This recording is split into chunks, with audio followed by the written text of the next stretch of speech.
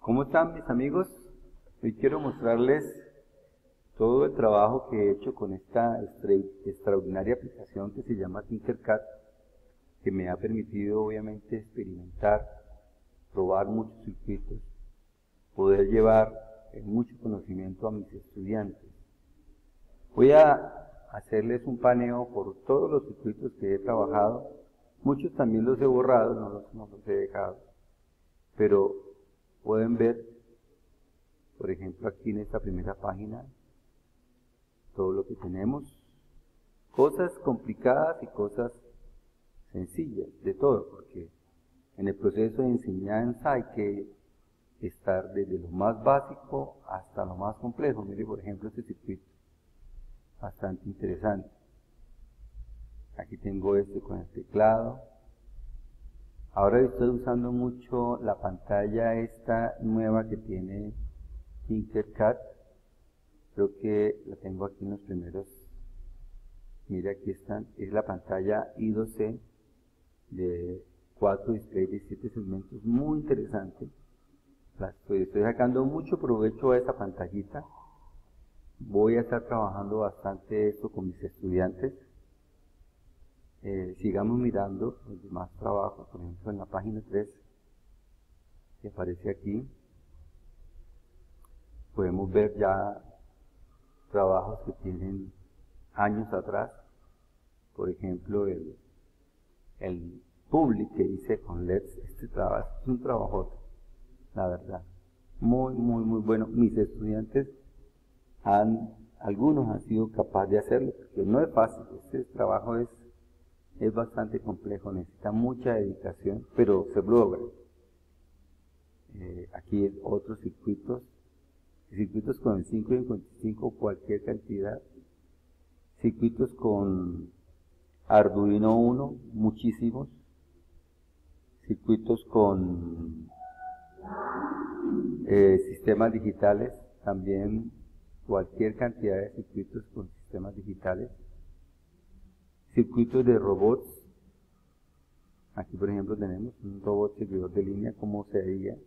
No se puede hacer el, circuito con el robot propiamente, pero sí algo podemos simular.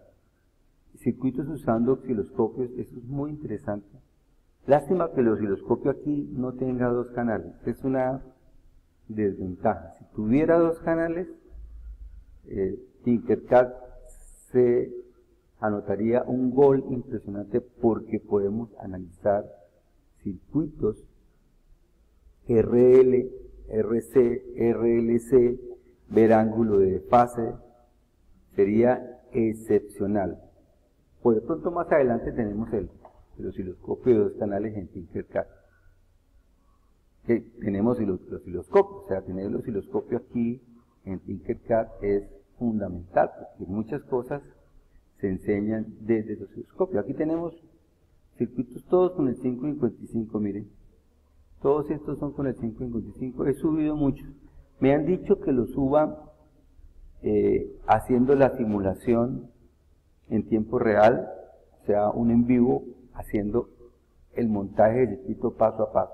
Lo voy a hacer. Estoy buscando la aplicación que me permita eh, conectar eso directamente a YouTube para poder grabar un, montaje en tiempo real de todos los circuitos, empezando por circuitos sencillos, ¿sí? Como este. Porque eso le daría al estudiante la ventaja de que puede seguir el video haciendo el montaje paso a paso con todos los detalles del circuito y eso pues sería más didáctico. Sería muy didáctico poderlo hacer así. Estoy buscando cómo hacerlo así, de esa forma. El, detalle pues es que obviamente pues yo no me dedico a esto solamente, sino yo soy docente y algunos de mis tiempos libres se los dedico a hacer estos videos. Pero también tengo mi familia, entonces no puedo exclusivamente dedicarme a hacer videos porque tengo que atender a mi familia, atender a mi trabajo.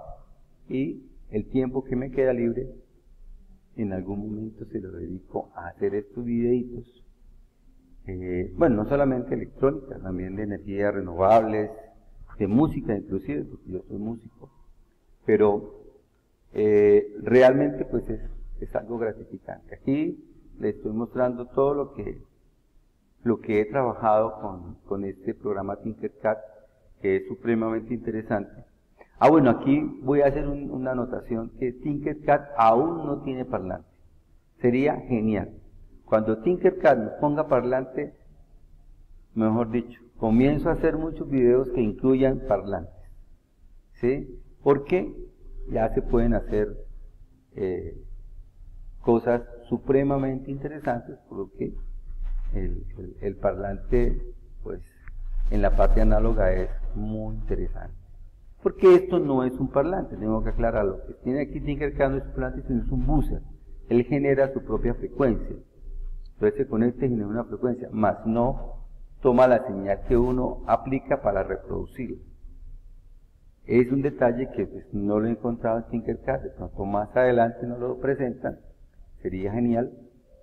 Pero miren, ahí está todos los circuitos, miren, bastantes trabajados.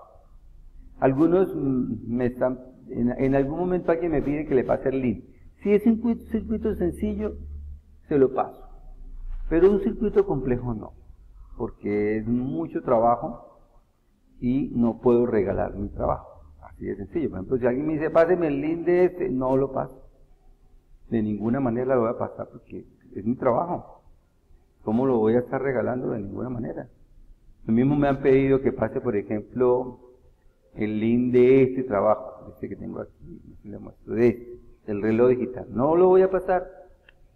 No lo voy a pasar porque estos son horas de trabajo que no se pueden regalar. Es decir, es bastante difícil para mí decir, ah, les regalo esto. No.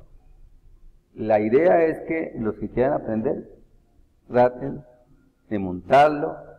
Yo he hecho videos donde muestro bien cada detalle del circuito. Lo pueden montar, si lo quieren hacer, lo pueden montar. Y, bueno, seguramente cualquier error que cometan les va a hacer que no funcione el circuito. Entonces, eso les obliga a tener mucha dedicación en el montaje del circuito. Ahí es donde se aprende realmente. Si yo regalo el link, pues nadie aprende. Entonces no tiene ningún sentido. Ahí está. Este es un trabajo que he hecho bastante amplio con Tinkercad. Agradecimientos profundos con Tinkercad porque es una herramienta fundamental para mi trabajo docente y espero que muchas personas puedan aprovecharla para aprender. Es realmente fenomenal. Bien, no se les olvide suscribirse, no se les olvide darle like, no se les olvide apoyarme porque pues yo estoy haciendo este trabajo en verdad, no con un ánimo de, de volverme millonario, pero sí cualquier cosita que pueda llegar no está de más. Muchísimas gracias, hasta luego.